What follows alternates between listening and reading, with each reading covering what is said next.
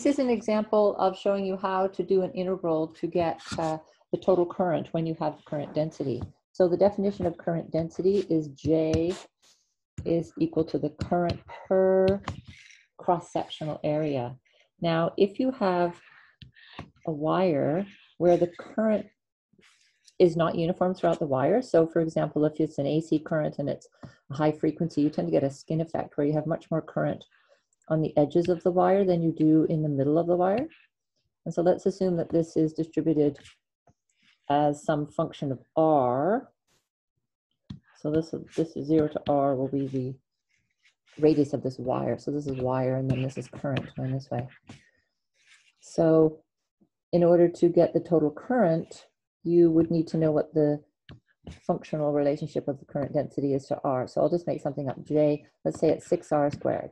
So this cross section, um, it's a parabolic increase in current density as you move towards the edges of the wire.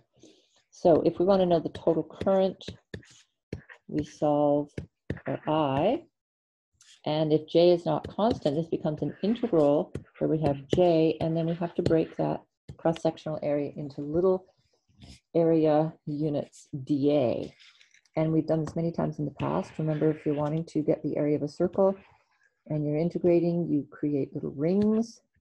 The thickness of the rings is dr. The area of the ring, dA, is 2 pi r dr.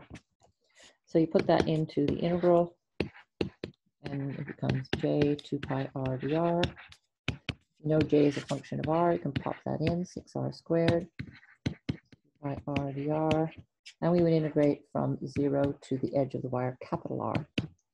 So this becomes 12 pi r cubed and integrates r to the 4 over 4 from 0 to r. So that the total current in the wire would be 3 pi r to the 4. And that would be the answer for the total current in the wire.